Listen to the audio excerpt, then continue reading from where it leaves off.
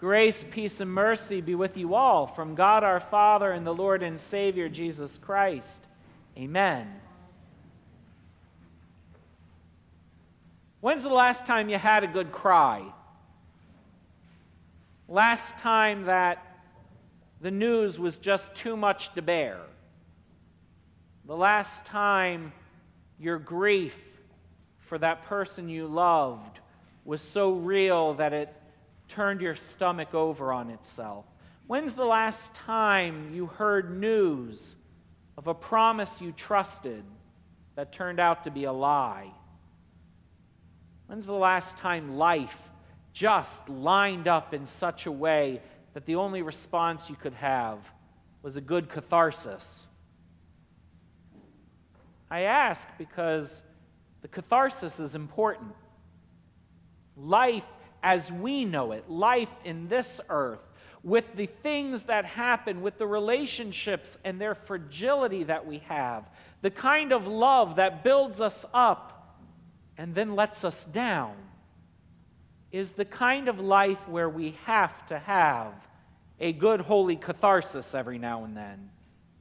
We have to let our emotions be so honest that they move through us and out of us and within us. So that, yes, there are times when our faces know the pain of being crusted with the salt from too many tears.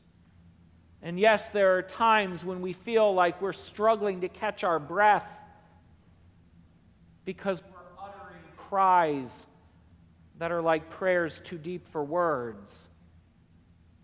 But as people who can have that catharsis, we are also people who know what it is to be cleansed. We're a people who have enough good news in our lives that we can let our emotions out and trust that God will restore us to the kind of joy and life and peace that God hopes will be hallmarks of who we are. I ask you about the last time you had a good cry, the last time you had a good catharsis, because nobody wants to live in a family of stuffed up emotions and feelings. Nobody wants to worship in a room full of people whose primary concern is looking good on the outside while everyone knows we're torn up within. That's the kind of congregation Jesus found himself in. When he went to Capernaum with his disciples on the Sabbath, when he began to teach. Jesus walked into their midst and he found a synagogue full of people who were faithful, but whose primary concern was staying between the lines.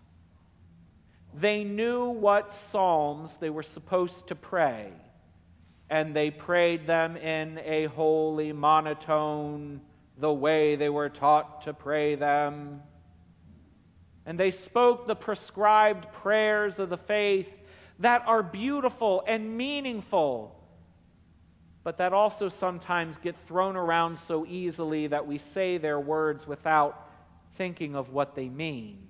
Jesus walked into a synagogue where people had their prescribed place on their prescribed pew and where everybody came so that everybody would know they were the kind of people who had good decorum and knew how to behave appropriately at worship and everywhere else at life.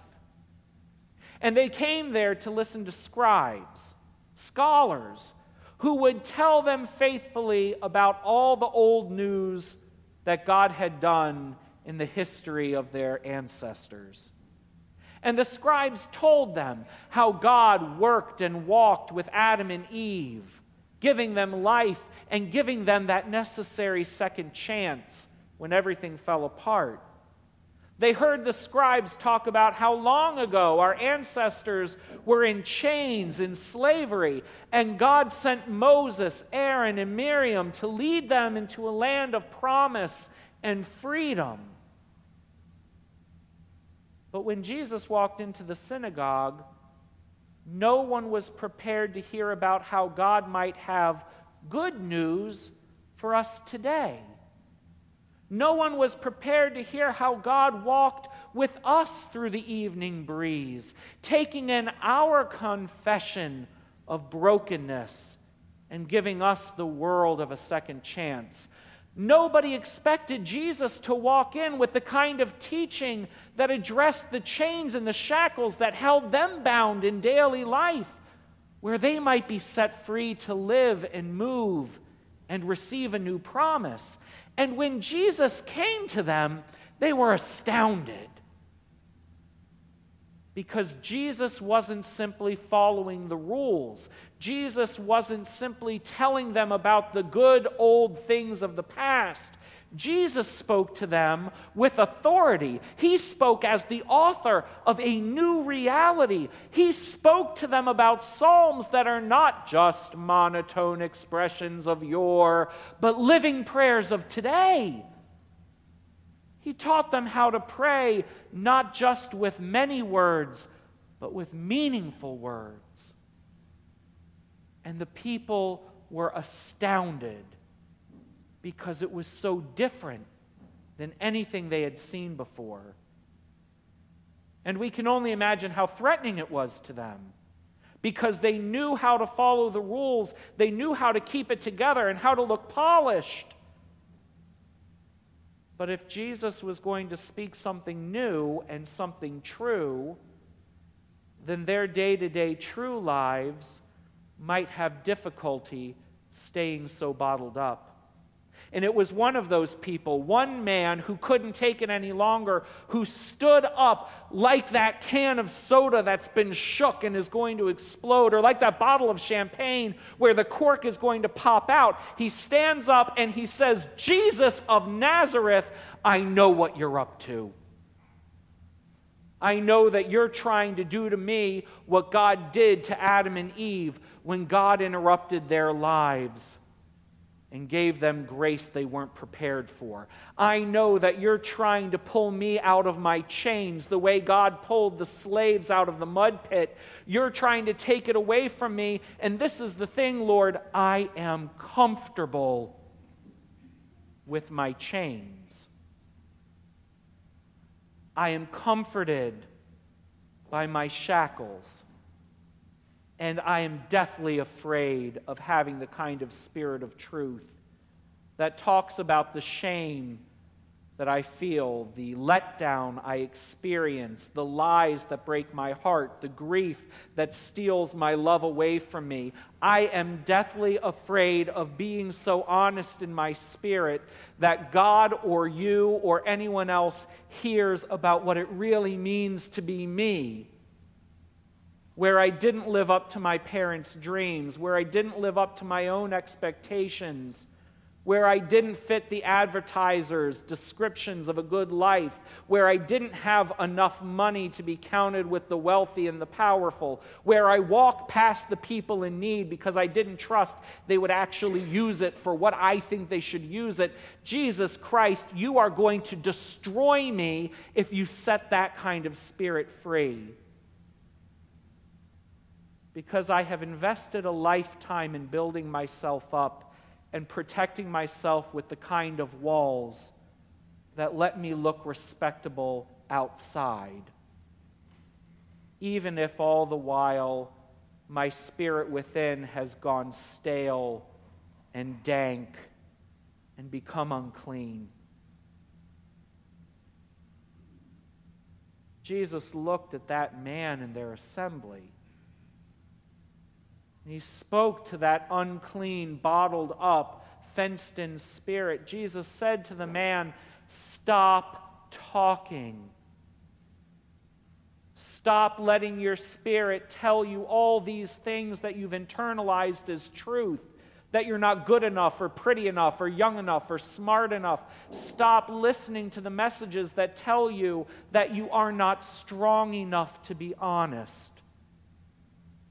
Stop spreading this rumor that you have to look like you are perfectly in charge of everything at every moment of all days. Stop this unclean thinking and be real.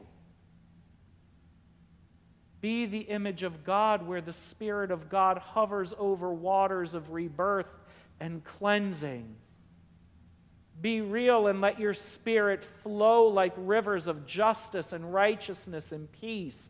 Give yourself the ability to be the image of a God who does cry when the world is unfair, whose heart does break when children are hurt, where neighbors are ignored, where wars are waged.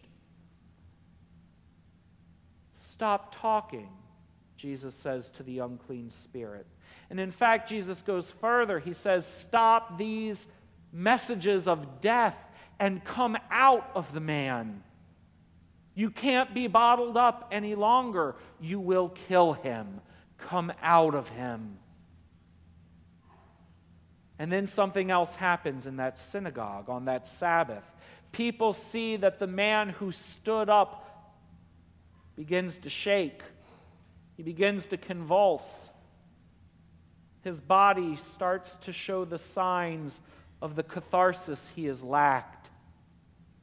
And he can't speak words anymore. He can only cry out these loud cries. And suddenly, in the middle of that body of worship, there is a man reduced to tears and shaking and trembling and honesty and healing and purification and Jesus does not run away screaming and crying, terrified of the unclean spirit. Jesus rather stays with him and lets the catharsis set free everything that had been bottled up like a stone in front of a tomb. And now the people are amazed.